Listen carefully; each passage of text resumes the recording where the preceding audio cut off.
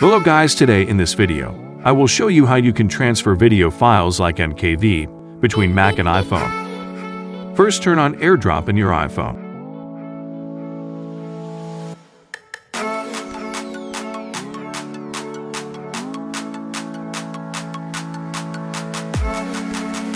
After turning on AirDrop in your iPhone, go to your Mac desktop and find the file that you want to transfer.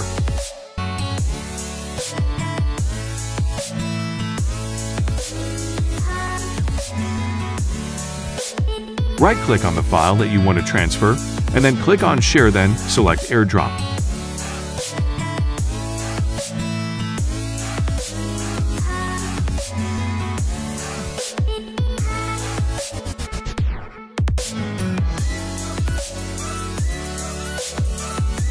Here you will see your device. Now click on the avatar to transfer the file. Click on Open with Files on your device, then click on Save. It's going to take some time to transfer file, depends on your file size.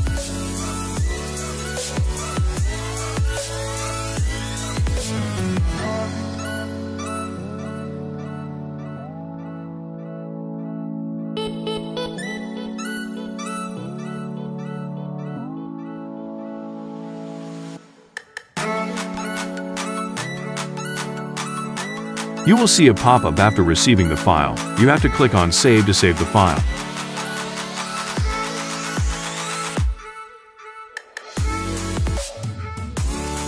As you can see, I received the file, but I can't play because the file is in MKV format. So if you want to play the video, you have to download VLC Media Player. Search VLC in the App Store, then click on Get to download the app.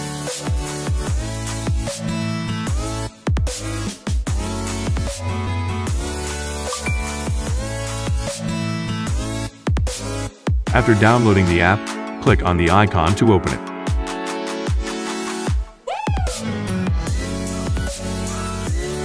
If you are not seeing your file here, then go to the Files.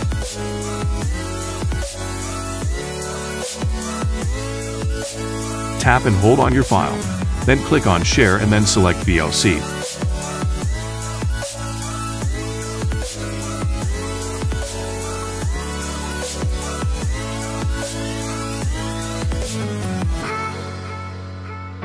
As you can see, the video is playing properly.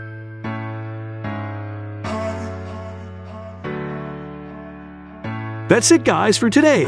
If you enjoyed this video and want to hear from me again, be sure to hit that subscribe button before you go.